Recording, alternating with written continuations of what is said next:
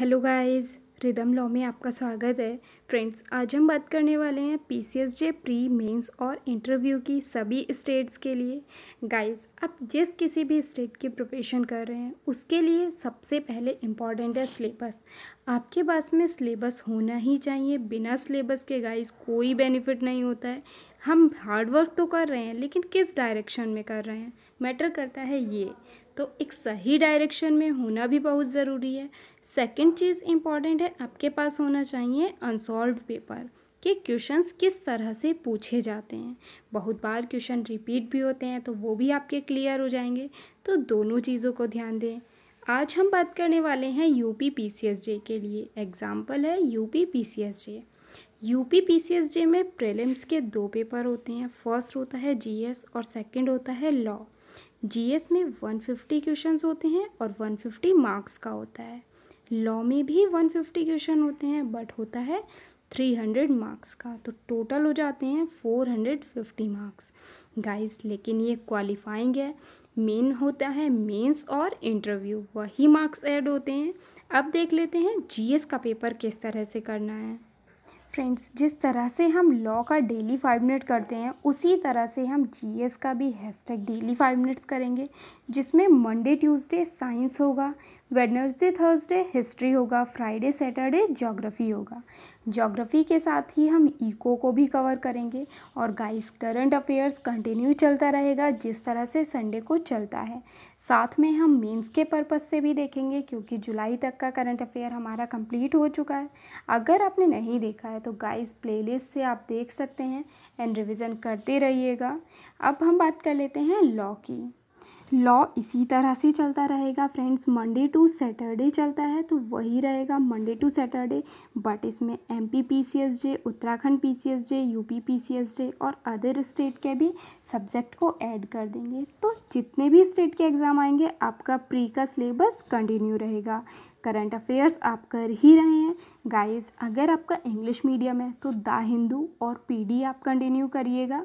और अगर आपका हिंदी मीडियम है तो आप घटना चक्र कंटिन्यू करिएगा फ्रेंड्स एंड डेली न्यूज़पेपर पढ़ना ही है, कोई भी मीडियम हो। अब हम बात कर लेते हैं फ्रेंड्स मेंस की, क्योंकि प्री हमारा कंप्लीट हो चुका है करंट अफेयर भी जीएस भी और लॉ भी।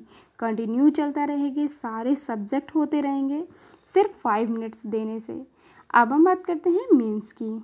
फ्रेंड्स मेंस हम करेंगे ऑल्टरनेट डेज़ पर, जिससे हम पढ़ते भी रहें और साथ साथ कंटिन्यू भी रहे कि आपको एक दिन एक टॉपिक कंप्लीट करना है नेक्स्ट डे हम उस क्वेश्चन को देखेंगे और उसकी जो प्रॉपर आंसर फ्रेमिंग है वो कवर करेंगे और वो टॉपिक भी पूरा पढ़ेंगे। इससे टॉपिक भी कवर हो जाएगा, जो प्रीवियस ईयर के क्वेश्चन पेपर हैं वो भी आपके साथ में सॉल्व हो जाएँगे और कंटिन्यू प्रिपरेशन भी रहेगी सभी स्टेट के लिए। इसी तरह हम जीएस करंट अफेयर और लॉ तीनों चीज़ें कंटिन्यू करेंगे। अब हम बात कर लेते हैं टेस्ट सीरीज़ की। फ्रेंड्स टेस्ट सीरीज़ के लिए टेलीग्राम ग्रुप है, आप वहाँ से ज्वाइन कर सकते हैं। डिस्क्रिप्शन बॉक्स में आपको लिंक दिया गया है। वहाँ आपको एक लिंक प्रोवाइड होता है। गाइस हम मंथली टेस्ट करेंगे।